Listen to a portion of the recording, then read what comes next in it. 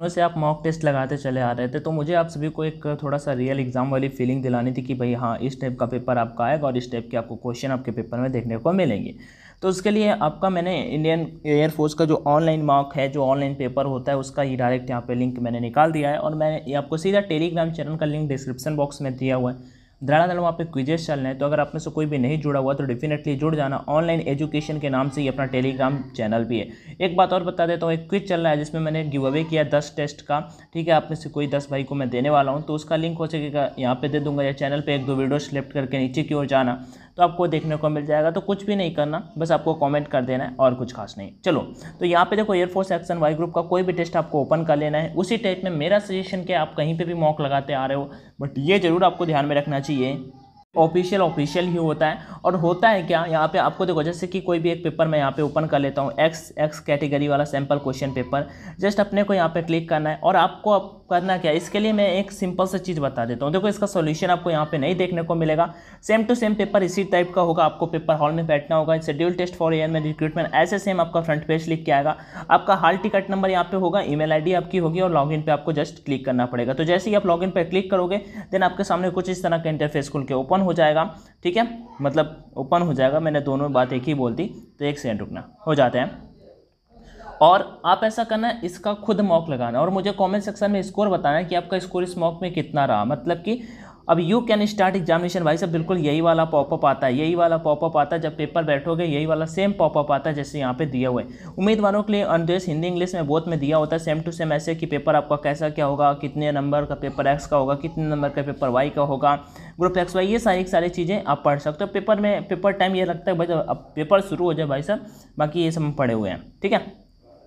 तो कुछ नहीं करना होता, बस यहाँ पे आना होता है, उसके बाद यहाँ पे आपको क्लिक करना होता है कि मैंने अनुदेशों को पढ़ लिया है। उसके बाद आपका कुछ टाइम लगता है, लगभग दस मिनट उसके बाद आपको स्टार्ट एग्जामिनेशन पर क्लिक कर देना होता है। सो मैंने स्टार्ट एग्जामिनेशन पर क्लिक कर दिया, उसके बाद यहाँ पर आपका पेपर स्टार्ट हो जाएगा, ठीक है? तो बस पेपर शुरू हो जाएगा। यहाँ पर आपका सेशन आई चार अंकों का लिख के आता है जो आपको सर आपसे पूछने आते हैं, वो आपको वहाँ पर बताना होता है। यहाँ पर आपका फ़ोटो आता है, यहाँ पर आपका टाइम चलता रहता है। और यहाँ पे आपका कितना, ये दिखाता है कि आंसर आपने कितना किया, यहाँ पे अनआंसर आपने कितने किए हैं, आई मार्क फॉर रिव्यू आपने कितना किया है, और आपका यहाँ पे नाम दिखाता है और हाल टिकट नंबर साथ में दिखाता है। ट्वेंटी फाइव क्वेश्चन यहाँ पे पहले फिजिक्स के आते हैं, उसके बाद यहाँ पे ऐसे धीरे धीरे करके आप चलते रहते हो, पृथ्वी के चुंबकीय ध्रुवों पर नमन कोण। आप यहाँ पे आके देखोगे तो मैं हमेशा कहता रहता हूँ, जो मोस्ट इंपॉर्टेंट चैप्टर है, वो आपका बन के आ जाता है, जैसे ग्रेविटेशन वाला चैप्टर उसे दो तीन क्वेश्चन यहाँ पे देखने को मिल जाएँगे। ठीक है क्वेश्चन ये हो गया। पृथ्वी के चुंबकीय ध्रुवों पर नमन कोण क्या होता है? ये आपका मैग्नेटिक फ़ील्ड से क्वेश्चन देखने को मिल गया इलेक्ट्रिक फ़ील्ड से क्वेश्चन देखने को मिल गया। सो so, यहाँ पे आपका केवल केवल ये ऐसे फिजिक्स सेक्शन चल रहा है ठीक है? तो टोटल 25 क्वेश्चंस आपको यहाँ पे देखने को मिल जाएँगे और ये थोड़ा सा नेटवर्क की वजह से है। ये मोस्ट इंपॉर्टेंट क्वेश्चन है दस प्रकार की वेवलेंथ क्या होती है ठीक है? तो सावती गुत्ताकर्षण नियतांक का डायमेंशन यहाँ पे पूछा हुआ है। तो क्रमशः H one upon H two जो फार्मूला आपने पढ़ा होगा T one upon T two बराबर under root H one upon H two वो वाला यहाँ पे फार्मूला दिया हुआ है। तो ये सारे के सारे आपको कुछ दिए हुए होते हैं। पानी का प्रश्न और सर्फिस टेंशन वाले चैप्टर से क्वेश्चन है ठीक है? और किस चैप्टर से कितने क्वेश्चन है ये भी मैंने ऑलरेडी ये वाला क्वेश्चन हमेशा पूछा जाता है मोस्टली पूछा जाता है सी पी एफ़ सी का। तो ये करने के बाद आपका सबमिट क्वेश्चन पेपर सेक्शन पे आप यहाँ पे क्लिक कर दोगे और जब तक वैसे पेपर में क्या होता है, आपका टाइम नहीं कंप्लीट हो जाता, तब तक ये सेक्शन खत्म नहीं होता है। तो ये तो आपका फिजिक्स का हो गया। फिजिक्स का, आप देखो यहाँ पे 25 क्वेश्चन है, आपको 25 अटेम्प्ट करने और बताना है कि आपका 25 में कितना स्कोर रहा। कुछ नहीं करना, आपको बस सामने एक घड़ी रख लेनी और ये देखना है कि 25 मिनट मतलब 20 मिनट के अंदर कर पाए कि नहीं कर पाए। ठीक है यह ऑफिशियल पेपर है, काफ़ी टाइम से इंडियन एयरफोर्स का बट ऑनलाइन है। ये अपना फिजिक्स सेक्शन हुआ अभी नेक्स्ट पे अपने को क्लिक करना होगा तो अपना मैथ सेक्शन स्टार्ट हो जाएगा, जो मोस्ट इंपॉर्टेंट होता है, आपको बस इसी चीज़ पर फोकस करनी होगी। उसके बाद आपका मैथ का पूरा का पूरा यहाँ पे आपको पेपर देखने को मिल जाएगा, किस सेक्शन से कितने क्वेश्चन देखो कॉस इनवर्स अपोजिट वाला फार्मूला लिखा है अत पर लेकिन नाम यहाँ plus minus e comma zero जो होता है, उसके बाद आपका कॉस का जो कॉस को अपना कन्वर्ट करते जाना है, उसके बाद यहाँ पे नेक्स्ट क्वेश्चन की ओर चलते हैं। नेक्स्ट थोड़ा सा नेटवर्क का इशू है अदरवाइज़ अपने अच्छे नेटवर्क में रहोगे, आपको कोई भी दिक्कत नहीं होने वाली, उस त्रिभुज की प्रगति ज्ञात करो, जिसके शीर्ष बिंदु सिंपल सा क्वेश्चन है, दो बिंदुओं के बीच की दूरी, दो बिंदुओं के बीच की दूरी, दो बिंदुओं के बीच की दूरी A B B C C D अब अगर दो तीनों बराबर है तो संभव त्रिभुज हो जाएगा, और दो किसी तीसरे के बराबर है तो समझ समकोण त्रिभुज हो जाएगा। इस तरह से एक्स वाई प्लेन पर प्रत्येक बिंदु एक्स वाई जेड के लिए तो जेड अच्छा वाला यहाँ पर राइट आंसर हो जाएगा सी नंबर संयुग्मी बताना है, इसका हो जाएगा इलेवन माइनस सिक्सटी आई हो जाएगा। उसका यहाँ पे और बता देता हूँ N C R plus two N C N वगैरह वगैरह एक्सपेंड कर देना सिंपल सा क्वेश्चन है। एक गुरुत्तर थोड़ा इतना सिंपल भी नहीं है बट लॉजिकल है। थोड़ा सा टाइम टेकिंग क्वेश्चन है। एक गुरुत्तर श्रेणी का एनवे पद टू टू पावर एन है तो इसके प्रथम एन पदों का योग बताओ। जीपी का यहाँ पे पूछ रहा है two to power T R plus ये होता नहीं है टी आर प्लस वन बराबर टी आर बराबर eight power N minus R वाला। वो वाला यहाँ पे आपको बताना है। अगला कि एक्स स्क्वायर का गुणांक बताओ। सिंपल सा क्वेश्चन है यहाँ पे। एक्सपेंड कर देना है। टी आर प्लस वन बराबर एन सी आर एक power N minus R X power R दोनों को एक्स स्क्वायर के इक्वल में कर देना मतलब टू के इक्वल में कर देना इसका आंसर क्या हो जाएगा? Four A square B square I think हो जाएगा। ए बी सी का वैल्यू पुट कर सकते हो। आगे यहाँ पे देखो ए इन्वर्स निकाला है। तो इन्वर्स एट ज्वाइंट बटे मॉडे हो जाता है। डिटर्मिनेंट जिसे बोलते हो। ये आपका ज़ीरो हो जाएगा। सब जोड़ दो जाके। ठीक है ना? आगे रुकना एक सेकंड और आ जाते हैं, दिखा देता हूँ। Sine two plus X minus sine two minus X upon, इसका सीधा वो अपना कौन सा नियम है भाई? एल हॉस्पिटल रूल लगा दोगे, सीधा आ जाएगा। मुझे लगता है टू कॉस टू आएगा। जिससे जैसा मुझे मुझे इतने क्वेश्चन याद हैं आप सभी के कि इतना टू कॉस टू मैथ का आ जाएगा? Tan second sec X plus tan X इसका इसका मैं बताऊँ, शायद वन बाई टू आएगा। माइनस में या प्लस में आई थिंक माइनस में आएगा। लेकिन आप मुझे कॉमेंट मैं श्योर नहीं हूँ, ठीक है? बट आप कर सकते हो sec X plus tan X को सीधा इंटीग्रेशन करना है। Sec X plus tan one upon cos X tan X बटे कॉस एक्स उसको तोड़ ताड़ देना, खोल खाल देना और जो भी आंसर आएगा माइनस वन बाई टू आएगा। सिंपल सा ऐसा कुछ, ठीक है? D two Y point D X simple सा क्वेश्चन है। अब दो बार इसका डिफ्रेंशिएशन कर देना। इसका मैं बता दूँ, शायद मुझे लगता है minus two by C E आएगा। बी नंबर तो इसी तरह से आपको कहना आयतन में होने वाली वृद्धि की दर तो four by three pi R cube आपको वहाँ पे रख देना है। आर की जगह पे आई थिंक तीन सेंटीमीटर दिया हुआ है। इसका यहाँ पे त्वरण करना है। इसका दो बार डिफ्रेंशिएशन आपको कर देना होता है। आगे यहाँ पे देख लेते हैं, मानक फिसलन ज्ञात करना है तो वो एक्स डी वाला आ जाता है यहाँ पे।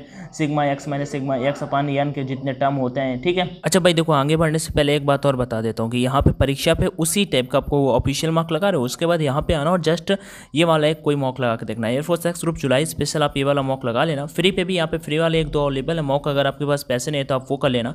मैंने एक गिव अवे भी कराया टेलीग्राम पे चल रहा है। टेलीग्राम चैनल अपना ऑनलाइन एजुकेशन के नाम से वहाँ पे आके पार्टिसिपेट कर सकते हो। एन एल आई यानी E D use online education जो चैनल का नाम है लिंक डिस्क्रिप्शन बॉक्स में दिया हुआ।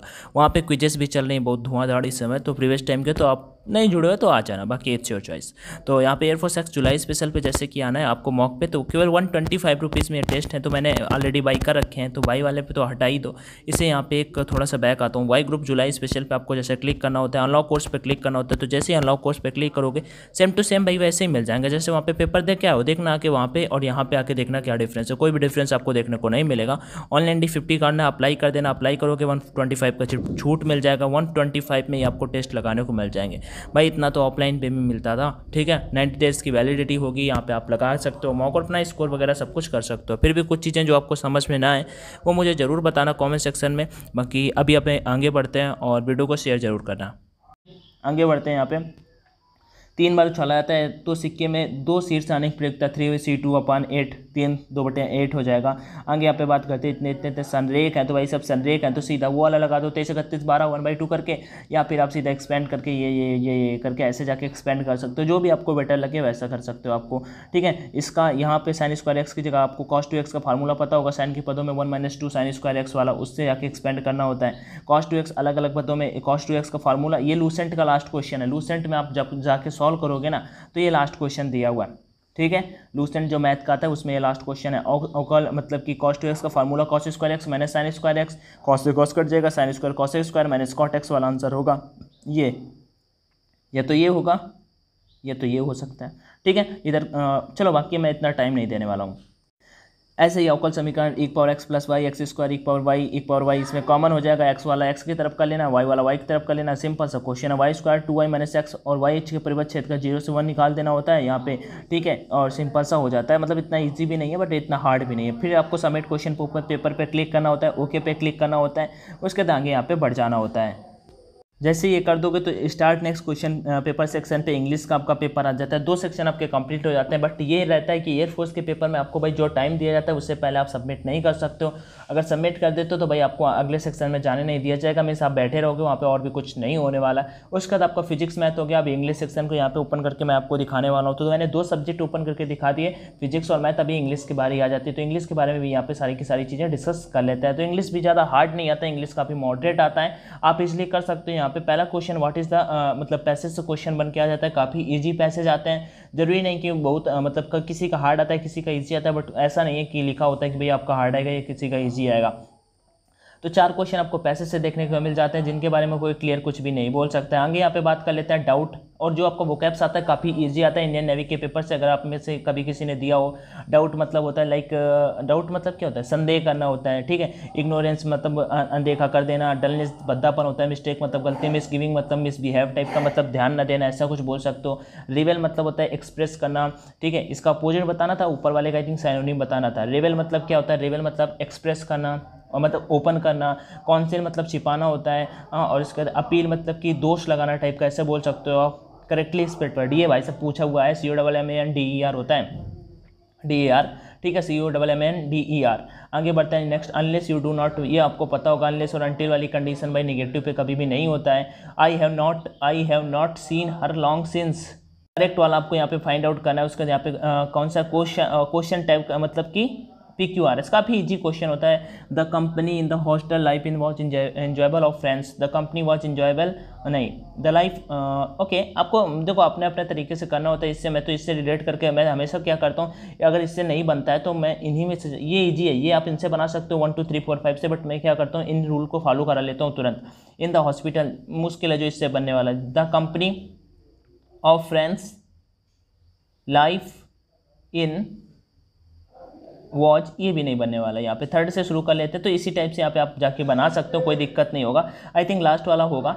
क्या लिखा हुआ है? मैं एक बार देख लेता हूँ। The company of the company of friends in the hospital in the hostel sorry in the hostel life in was enjoyable ठीक है? सो so, अपना क्लियर कर लेना कोई दिक्कत नहीं। अगर ना समझ में आए तो मुझे बताना। मैं बस ऐसे जल्दी जल्दी मैं आपको बता दे रहा हूँ। कोई दिक्कत लेने का सीन नहीं है। पैसे वैसे आपको बताना है। उसका डायरेक्ट इनडायरेक्ट से क्वेश्चन देखने को मिल जाता है। ऐसे ही आपको प्रिपोजिशन से question the beggar was asking for bread ठीक है? और उसके बाद यहाँ पे आई सेल उसके बाद यहाँ पे आपको क्या बताना है? ये देखो यहाँ पे अप्रोप्रिएट चॉइसेस आपको बताना है कौन सा है, जगह मतलब फ्रेजेस मान सकते हो, उसके बाद यहाँ पे आपको फिर से एक फ्रेजेस टाइप में वर्ब मान सकते हो वर्ब से क्वेश्चन है, उसके बाद इसी टाइप का आपका पेपर देखने को मिल जाता है। फाइनली आपको पेपर को सबमिट कर देना होता है और इस तरह का आपका पेपर सबमिट हो जाता है इन अ टाइम बाकी कोई मुझसे अगर गलती हुई हो तो सॉरी उसके लिए बट मेरा मतलब मैंने जो क्वेश्चन बताया ना आंसर वो मैंने अपनी याददाश्त के बेसिस पर बताया कुछ सॉल्यूशन नहीं किया। बाकी यहाँ पे क्या लिखा हुआ है? You have finished question paper English examination has been completed thank you तो स्टार्ट एग्जामिनेशन सबमिट एग्जामिनेशन पे बस आपको क्लिक कर देना। जैसे सबमिट एग्जामिनेशन पर क्लिक करोगे पेपर में आपको रेटिंग देने को आ जाता है। वो बोलते हैं, आप रहने दीजिए, ये आपके मतलब बस हटाओ ये। ठीक है? तो भाई कोई दिक्कत हो तो मुझे कमेंट में ज़रूर बताना। बाकी thank you so much for watching this video do share if you like it otherwise कोई बात नहीं. टेक केयर एक बात और बता देता हूँ। बाकी मैंने बोला था आप सभी को परीक्षा पे मॉक ऑनलाइन लगाने के लिए तो डेफिनेटली प्रैक्टिस करते रहो, जो दिक्कतें आते हैं वो मुझे बताते रहो। टेक केयर जय हिंद ऑल द बेस्ट